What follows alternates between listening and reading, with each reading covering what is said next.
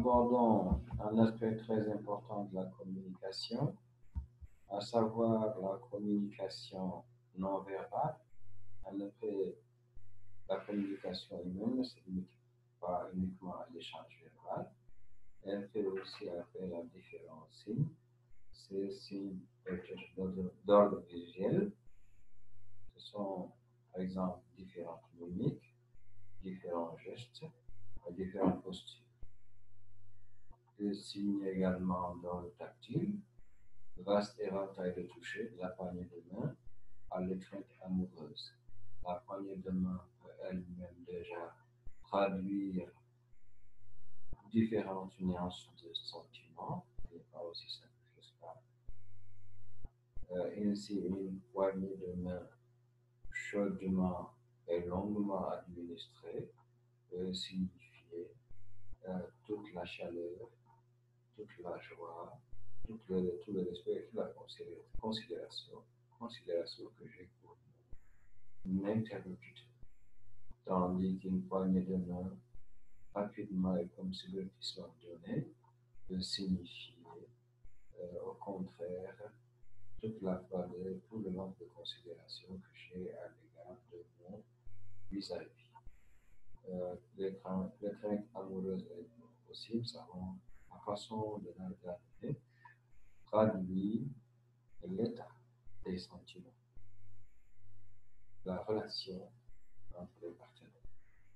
Quant à l'accolade, elle est fortement réglementée. En principe, elle est alliée à un personnage différent. Le président de la République un président de la République, ou d'un ministre à un autre. Elle pas avoir une accolade normalement entre un président de la République et un ministre. Non seulement ces signaux peuvent accompagner ministre d'un langage verbal, la parole donc, mais aussi parfois le contredire comme dans l'ironie, voire le remplacer. Alors, euh, à titre d'exemple, euh, si je dis de quelqu'un quelle intelligence, ou est tellement intelligent, avec l'index tourné sur la table, geste qui presque universellement signifie la folie, ça signifie tout simplement qu'il ne faut pas prendre au sérieux mon propos, ma parole, que ce qu'il faut prendre en considération, c'est le geste. Donc, le geste finit parfois par l'emporter sur la parole, avoir le dessus sur la parole. Ceci nous peut également traduire parfois notre insu nos émotions, nos sentiments, nos valeurs, nos idées avec différentes nuances.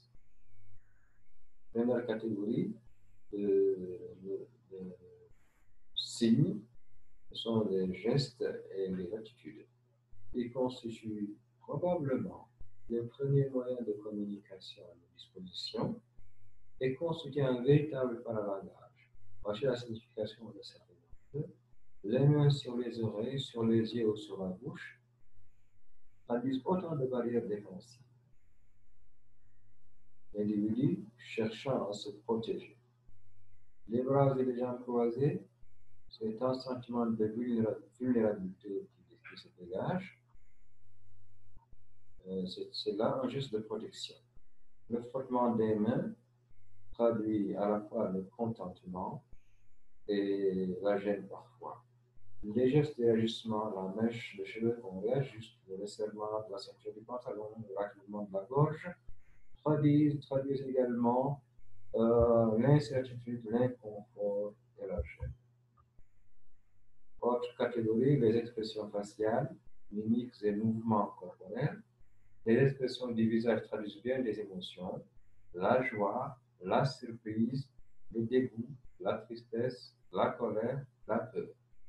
Ces mimiques peuvent renforcer le message, mais elles peuvent également le modifier et changer sa signification en certains cas.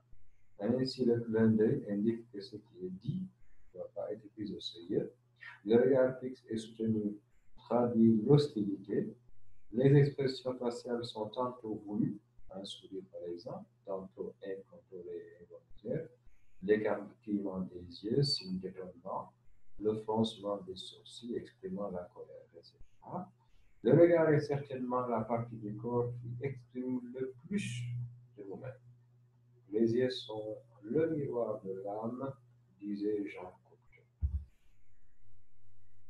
L'apparence. L'apparence joue un rôle important dans la première impression que l'on a d'une personne.